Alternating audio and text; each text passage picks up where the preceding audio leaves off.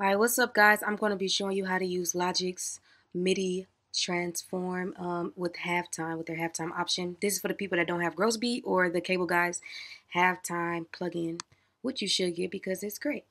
Alright, so I'm going to go to Apple Loop and I'm going to get a MIDI um, loop.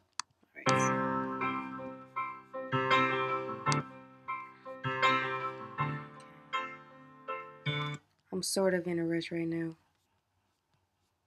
Okay. Where did that go?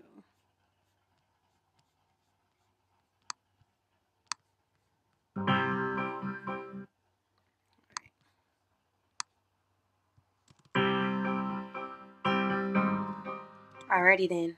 Ooh. Let's do some, get some from Alchemy. I really love Alchemy. See. We're going to go to keys.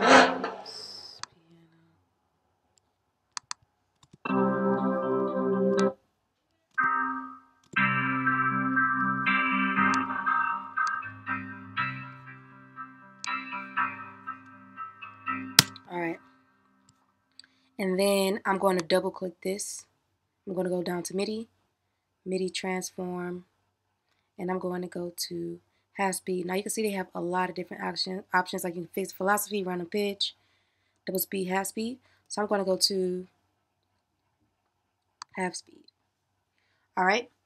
So you want to make sure your mode is on apply operation to selected events. And then you want to go to here, but let's listen to it first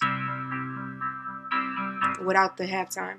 All right. Then we're going to go to all because we want it to affect all of the loop.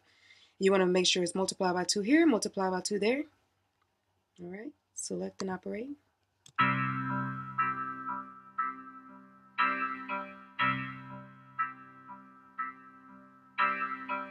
You see?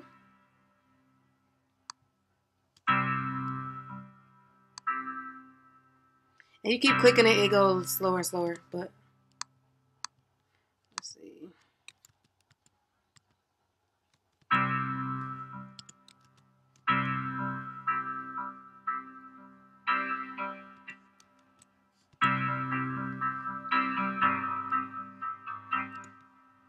select and operate.